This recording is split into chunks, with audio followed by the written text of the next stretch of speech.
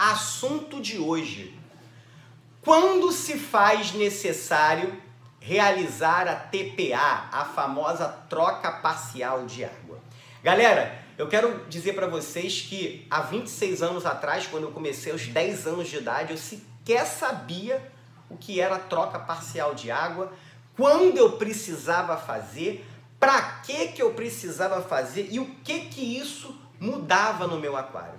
E ao longo de muitos anos perdi peixe porque não fazia, depois perdi peixe porque fazia errado, porque não tinha embasamento, cada um falava uma coisa, não tinha onde procurar. Então eu reuni nesse vídeo toda a minha experiência de aquarista nesses 26 anos e como biólogo para trazer para você. Mas antes de mais nada, eu vou pedir para que você deixe seu like, clica aí no sininho para receber as notificações, compartilhe e deixa seus comentários. Eu me chamo Marcos Alvarenga, eu sou biólogo há mais de 10 anos e aquarista há mais de 26 anos. E estou aqui para compartilhar com você a minha experiência de teoria e prática, tá? Principalmente embasando a biologia no nosso aquarismo para que você minimize suas perdas. E se você quiser saber mais sobre aquarismo de uma maneira segura e embasada, minimizando cada vez mais as suas perdas, clica aqui no nosso link do curso Tudo sobre Aquários. São mais de 35 módulos que você vai ter acesso. Marcos, mas eu não sei nada, não tem problema. Você nunca ouviu falar de aquarismo, você vai assistir os módulos e você vai conseguir montar um aquário como esse, qualquer aquário de água doce. Tem essas montagens aqui para você, lá ter um norte de como fazer, caso você precise. Eu montei esse aquário do zero, montei meu nano do zero. A gente tem um grupo VIP do Telegram, exclusivo para os alunos. Teremos lives exclusivas para os nossos alunos e conteúdo novo todo mês para você. Então não perde tempo. Vamos lá. Basicamente a gente precisa entender o que, que é a TPA. Lembra que a gente tem um sistema fechado no nosso aquário. O nosso peixinho, ele excreta né, amônia na água, que quando se acumula se torna tóxica, e ele também defeca matéria orgânica que é decomposta e se torna tóxica. E basicamente nos nossos aquários a gente só tem um ciclo do nitrogênio, que é converter amônia em nitrito, converter nitrito em nitrato e aí você vai remover, você vai remover esse nitrato fazendo a troca parcial de água. Mas Marcos, eu preciso estar tá fazendo essa troca parcial de água? Primeiro vamos lembrar, as pessoas falam assim, ah, mas você tem que fazer a troca parcial mesmo se você tiver com os parâmetros normais. Eu falo depende e discordo em certo ponto. Por quê? Quando é que você deve fazer a troca parcial? Quando você tem pico de amônia. Teve pico de amônia, você faz a troca parcial para remover essa amônia. Para isso serve a troca parcial. Teve pico de nitrito, você faz a TPA para remover o nitrito. Teve nitrato elevado, você faz a TPA para remover o nitrato. A outra forma, eu já vou te falar, mas Marcos, e se eu tiver com amônia próxima de 0, 0,25, nitrito também e nitrato também. Então, olhando para esses parâmetros, se você tiver com amônia, nitrito e nitrato equilibrado, nos níveis aceitáveis, você não precisa fazer troca parcial de água. Ah, Marcos, mas se eu tiver pico, eu, como é que eu resolvo? Você resolve isso aumentando a tua filtragem biológica para que as bactérias cresçam. Esses picos de amônia e nitrito é porque você tem pouca bactéria que utiliza esses produtos. O outro problema é o nitrato, que nitrato não tem bactéria normalmente nitrificante que remove. São as bactérias desnitrificantes. E eu ensino né, no nosso curso como você montar uma zona anaeróbica, onde você vai ter bactérias anaeróbicas que consomem o nitrato e devolvem o nitrogênio, onde você completa todo o seu ciclo do nitrogênio e muitos aquaristas não têm essa parte do ciclo, até porque falta conhecimento e não sabem como fazer, não sabem nem que existe isso. Mas se na natureza eu tenho um lago, uma lagoa, um rio e eu não faço TPA, é porque lá existem essas bactérias para fechar o ciclo do nitrogênio. Então você vai ter produtos, né, caso você tenha um pico de amônio, um pico de nitrito, você pode estar usando o Vanguard ou o próprio Prime para reduzir isso, enquanto você aumenta a tua cerâmica para as bactérias crescerem e voltarem a consumir. Mas vamos aqui ao ponto que interessa. Marcos, eu medi minha amônia, deu ok. Eu medi meu nitrito, deu ok. eu medi meu nitrato, deu ok. Preciso fazer TPA? Não. Você olhou para os parâmetros, você não precisa fazer TPA, tá? Mas, Marcos, muita gente fala que a TPA é importante para repor os sais da água. Então, vamos lá. Será que é necessário realmente? Se você tem um aquário com água mole, você tem que ter poucos sais.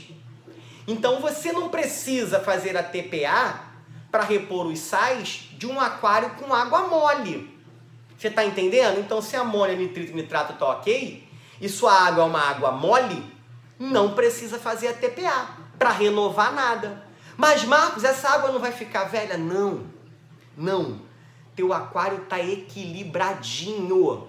Quanto menos se mexe num aquário, menos você desestabiliza ele. Lembra, tua amônia tá zerada, teu nitrito tá zerado, o próximo, 0,25.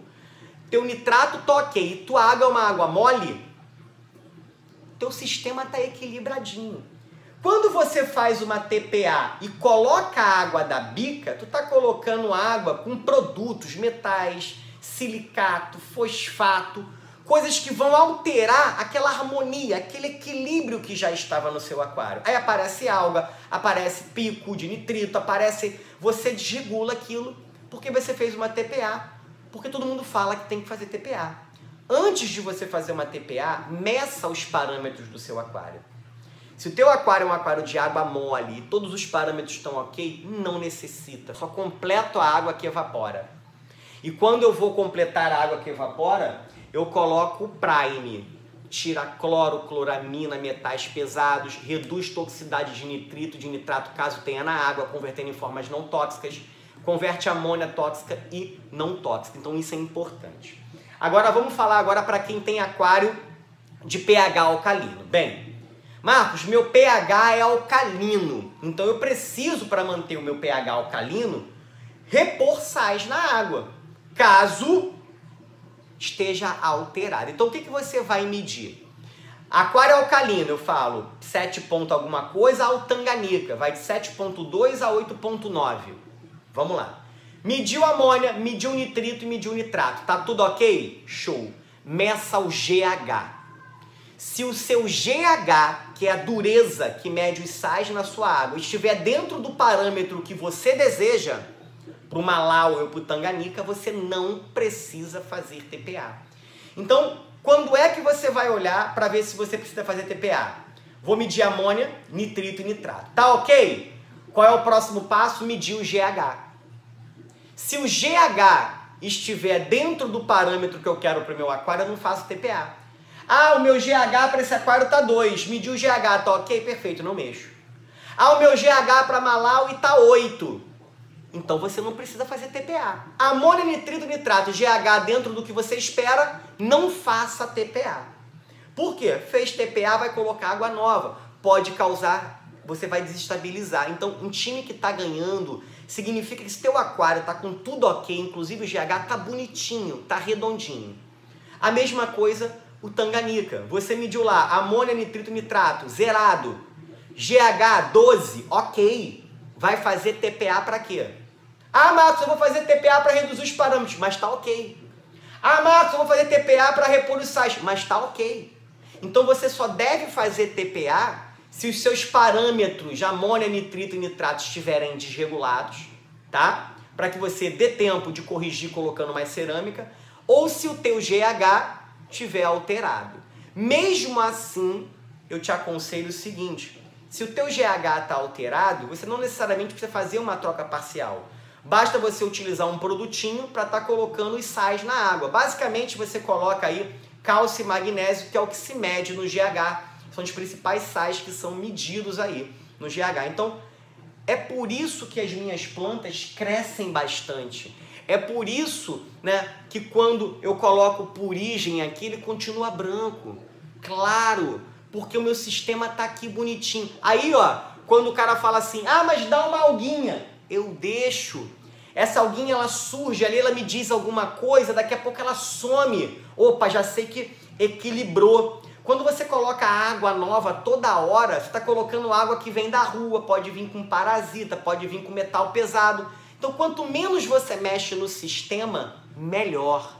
tá? Quanto menos você mexe no sistema, melhor. Lembra, tá com os parâmetros ok, GH dentro do que você quer, não tem por que fazer TPA. E tudo isso eu explico no curso Tudo sobre Aquários. Galera, a gente vai falar de ciclagem, bio, ciclagem, biologia, parâmetros, filtragem, tipo de peixe, montagem de aquário, tudo que você precisa para iniciar de maneira segura. Seja você lojista para dar um treinamento aos seus funcionários, para que eles deem a melhor informação. Se você nunca ouviu falar de aquário, ou se você já tem aquário quer aprofundar mais no conhecimento, saber o porquê das coisas, esse curso é para você. E se você não curtiu o curso, basta mandar lá que a gente devolve o seu dinheiro integralmente. Você tem uma semana para fazer isso. Então, tamo junto e misturado. Peço a vocês aí que deixa seu like, ative o sininho para receber as notificações, compartilhe o vídeo e os comentários para que a gente possa estar trocando ideia. Aquarismo sem mistério neles. Vamos que vamos e fui!